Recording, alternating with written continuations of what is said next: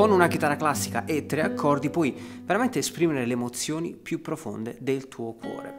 La scelta della chitarra classica non è casuale, infatti il suo suono ha una qualità unica e incantevole che veramente risuona nell'anima.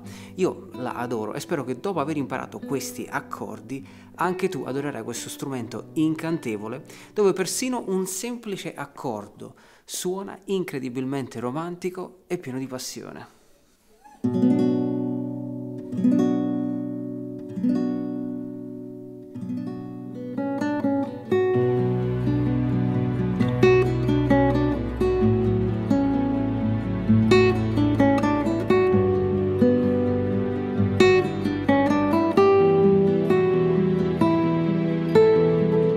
Immagina che cosa puoi fare con tre accordi.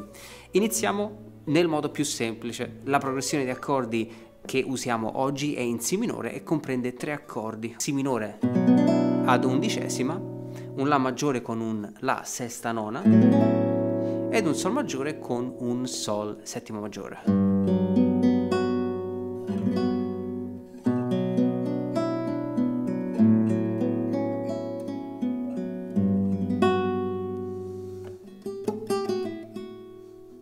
Partiamo un attimo dalla ritmica, quindi la mano destra.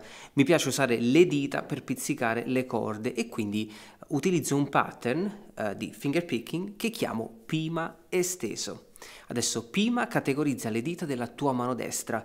P sta per pollice, I per indice, M per medio e A per anulare. Suonare questi accordi con l'arpeggio pima ti dà questo risultato.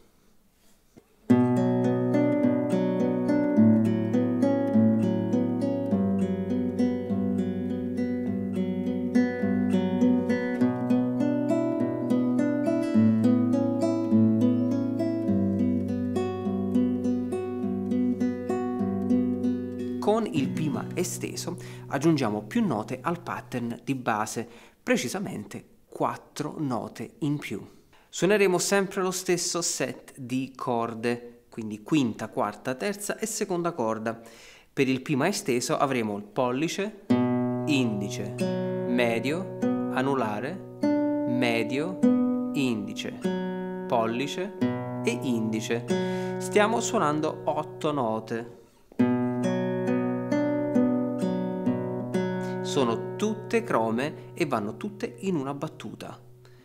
1, 2, 3 e 4. 1, 2, 3 e 4. Possiamo poi utilizzare questo arpeggio per suonare gli altri accordi.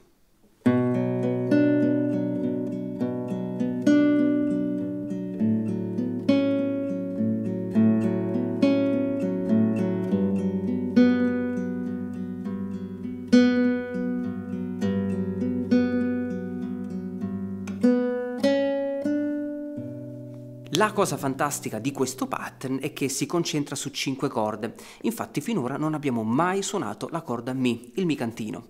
Aggiungiamo questa nota e vediamo come cambia l'atmosfera della stessa progressione di accordi.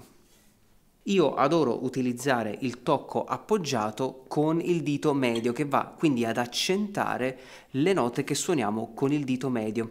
In questo caso avremo pollice, indice, medio, anulare con il tocco appoggiato, quindi suono la seconda corda e appoggio il dito sulla corda adiacente, quindi sulla terza corda. E farò la stessa cosa anche quando suono la prima corda, sempre con l'anulare. Vediamo il pattern sul giro di accordi.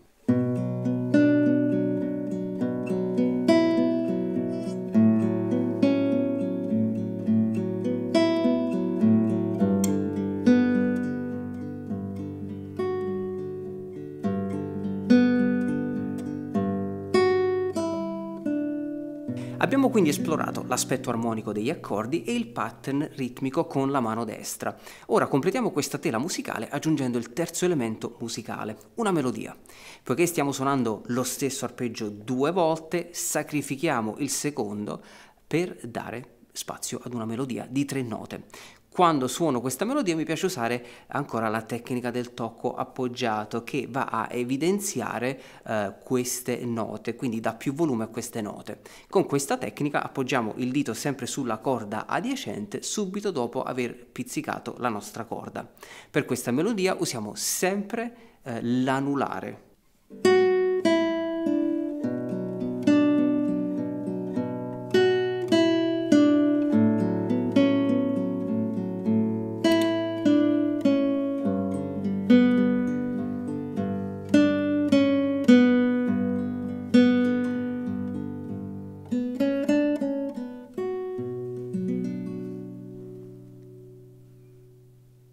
Ora raggiungiamo il climax con questa melodia di sei note.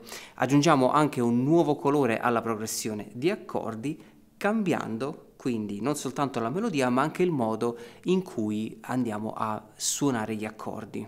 Questo è importante perché la struttura armonica, dopo aver suonato gli stessi accordi per un po', porta una ventata di aria fresca e uh, un'eccezione inaspettata. Vi suono l'esempio.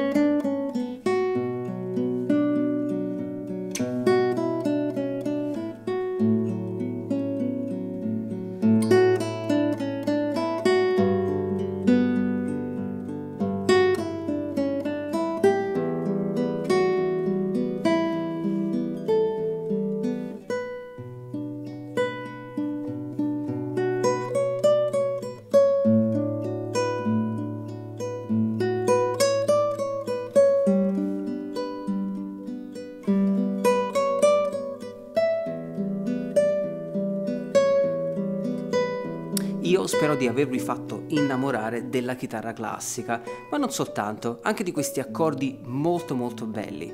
Mi raccomando, studiate lentamente. Se vi serve la tab e la partitura interattiva, la trovate sul mio sito. Vi lascio tutte le info in descrizione. Buono studio, buona musica e noi ci vediamo alla prossima.